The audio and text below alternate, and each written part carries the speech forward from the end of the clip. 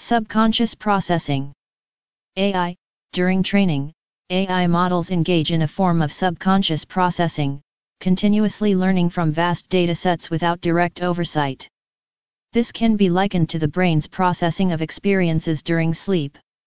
Humans, dreaming is a state where the subconscious mind processes experiences, emotions, and thoughts, often resulting in vivid and surreal imagery. Synthesis of experiences. AI, the images generated by AI models are synthesized from learned experiences millions of images and their associated contexts. The AI combines these experiences to produce coherent images from text prompts.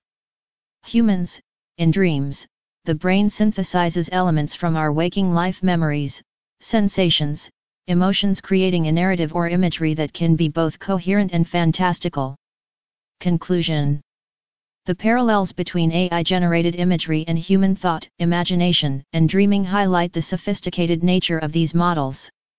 While AI does not possess consciousness or subjective experiences, its processes of pattern recognition, abstraction, and synthesis mimic the ways in which humans think, imagine, and dream. This resemblance underscores the potential of AI to augment human creativity and understanding, providing new tools for exploring the depths of our own cognitive and imaginative capabilities.